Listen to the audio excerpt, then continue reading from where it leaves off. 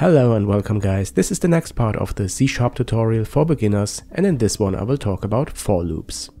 In the example project we have a list of users, so these are instances of the class user and what I will do in this part is to iterate over this list by using a for loop. In the last part I already introduced a for each loop, but now I will explain this in detail, but before we come to the for each loop I will explain what a for loop is. So we'll remove this block and we start from the scratch. So let's have a look at the C-sharp reference to see what a for statement is. A for statement executes a statement or a block of statements, while a specified boolean expression evaluates to true. This means you start with a for statement, then comes the initializer, the condition and an iterator, and inside of the for loop there is your code that is executed for each iteration. You can also break out of the loop by using the break statement, but in my opinion it's not a good style, the condition of the for statement should define the number of iterations. Okay, so let's create an example. You start with the for statement, then you initialize a variable to 0, this is the initializer. After that comes the condition, and as long as this condition is evaluated to true, in this case if the variable i is lower than the number of users, the for loop will be executed. The last part is the iterator and here I just increment the variable i by 1. Okay, again, we have an index that is initialized to 0 and as long as this index is lower than the user count, the loop will be executed and for each iteration, the index is incremented.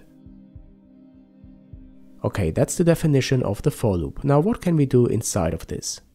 If we want to iterate the users with this for loop, we can use the index variable to retrieve a user from the list at this particular index.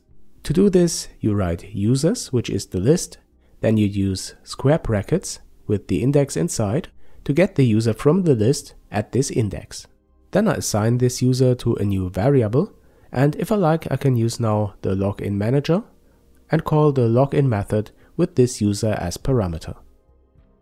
Okay, somebody mentioned he wants to see some outputs on the console so that we can see what is going on. And for this you can use the console class, but to be able to use it we have to import a namespace and this is called system. I used the show potential fixes of Visual Studio to add the namespace and here you can see it in the using statements. Then I will use the method writeLine of the console class to print out for each iteration of the for loop which user currently logged in. Okay, but when I start now, the problem is that the console will be closed because the program isn't halted anywhere, it just ends, so we have to prevent the program from being closed. This can be done for example by using console readline so that the user has to enter a text on the console and then the program is halted and we can see the output. And here it is, three users are logged in. To test if the login method was successful, we could use an if statement, but this will be the topic of the next tutorial. What I also want to show you is how to step through this code with the debugger.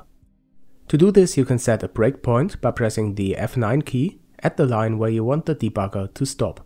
Alternatively, you can click in this lighter area on the left to set or remove a breakpoint. To start with the debugger you go to the menu Debug and then you select Start Debugging or just press the F5 key. Now to go step by step through the executing code, you can click this icon or just press the F10 key.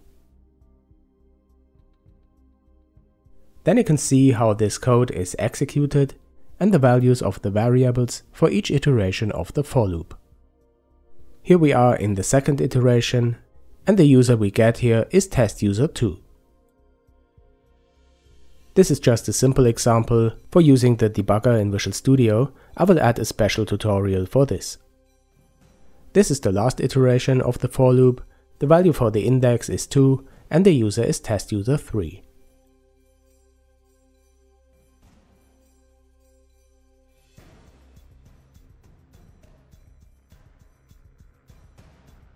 Okay, this was the default for loop with the for statement, but to iterate over a list of items, a more comfortable way is to use the for each loop. So let me comment this out. By the way, this can be done by selecting this block and then pressing Ctrl K and C. And then we add a for each statement. So you have to write for each round brackets to get a user from the list of users. So you don't have to define an index here, you just get the next user in the list for each iteration of the for each loop. Then we can copy this code to log in the user and paste it as body into the for each statement. And that's all, we can start again. I remove the breakpoint so that the program isn't halted, and we get the same result as before. Okay, great, but why and when does this work? Or better to say, for which data types? We have a list now of users, but what is a list? Let's have again a look at the C-sharp reference, here for the for each statement. It says that for each can be used for any types that implement the IEnumerable interface, or for any type that satisfies the following conditions. It has the public parameterless getEnumerator method, and this method has the public current property and the public method moveNext. I will go more into detail for this when we talk about interfaces.